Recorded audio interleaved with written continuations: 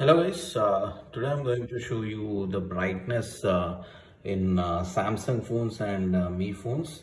So this is on the right side is uh, Samsung phone and this one is uh, Mi phone. Uh, this is uh, Mi uh, Redmi Note 9 Pro Max and this one is Samsung M21.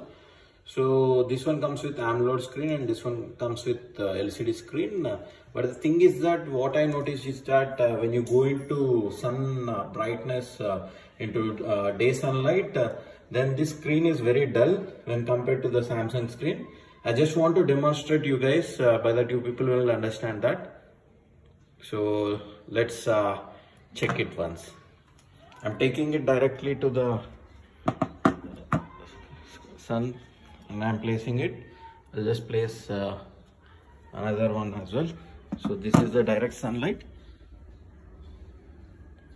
You can see it's in uh, full brightness. Both are in full brightness mode. But uh, when you when you see the screen, it's uh, very accessible and you can read it all the things but uh, when you see the Mi screen it's very dull and the glass reflection is coming over in sunlight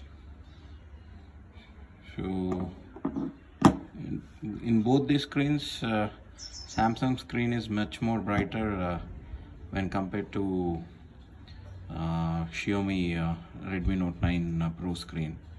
So hope that guys you like this video. Please comment and subscribe for my channel for more tech and art related updates. Thank you.